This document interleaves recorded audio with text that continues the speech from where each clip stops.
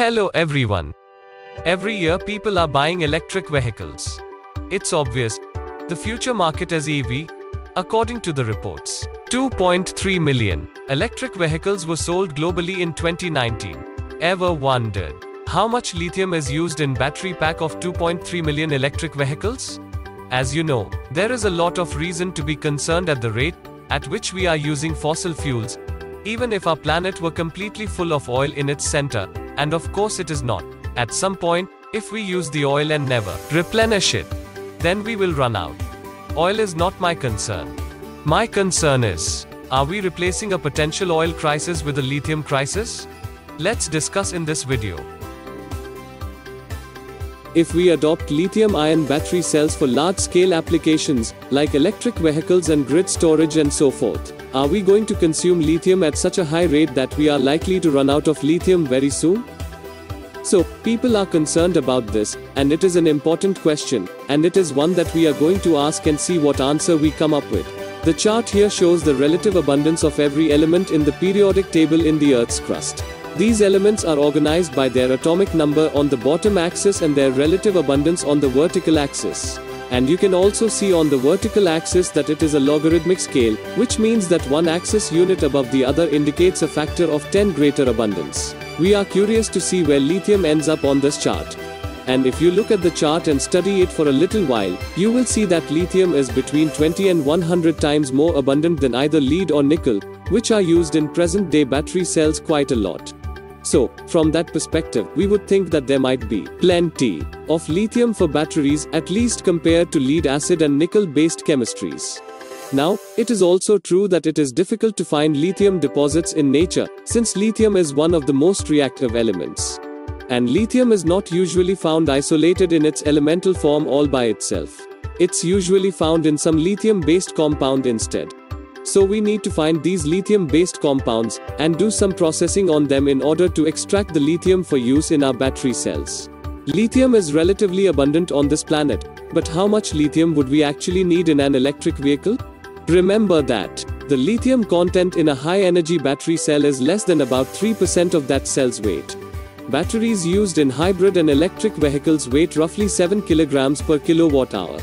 And so we can say that the lithium content is about 3% of that or about 0.2 kilograms per kilowatt hour. How many kilowatt hours do we need? So we need to think about how large this battery pack must be for different types of vehicles. So, let's consider an electric vehicle with a 200 mile electric range. It turns out that this vehicle needs about 60 kilowatt hour in its battery in order to obtain that range. So if we consider that we require a 60 kilowatt hour battery pack, and there is going to be 0.2 kilograms per kilowatt hours that ends up being a total of about 12 kilograms of lithium per electric vehicle. Now, an electric vehicle is extreme case for the purpose of transportation. A plug-in electric vehicle uses much less all-electric range.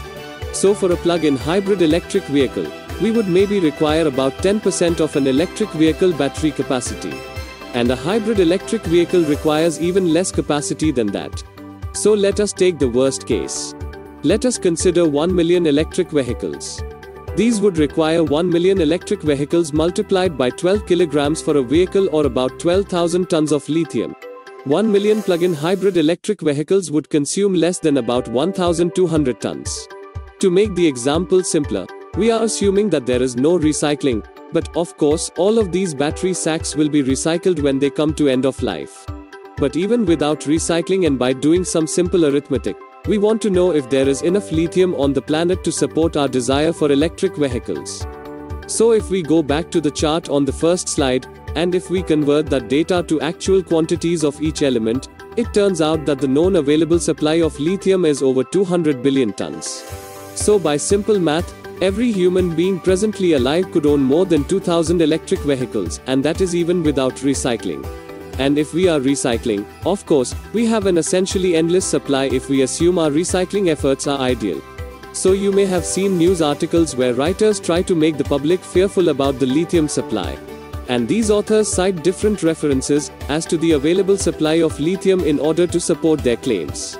But please note that the chart that was on the first slide of this lesson was generated by the United States Geological Survey, which is a very reputable source.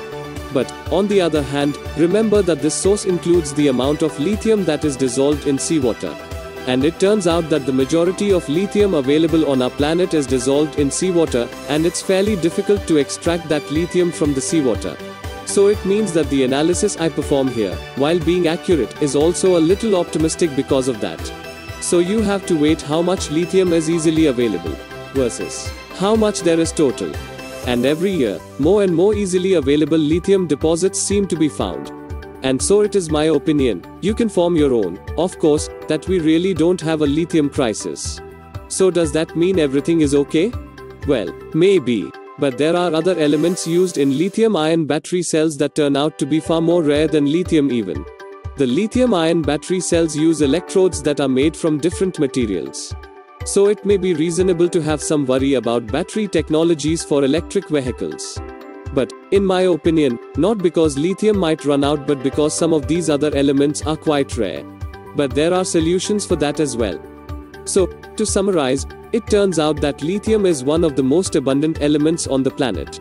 The total supply of lithium is more than sufficient to meet the demand for consumer electronics for electrified drivetrains and other applications even if we do not recycle. And, of course, we are going to recycle, and recycling can only improve this picture.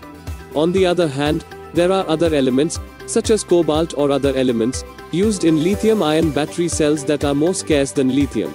So, to conclude, I am quite optimistic about the supply of materials for lithium ion battery cells in the future.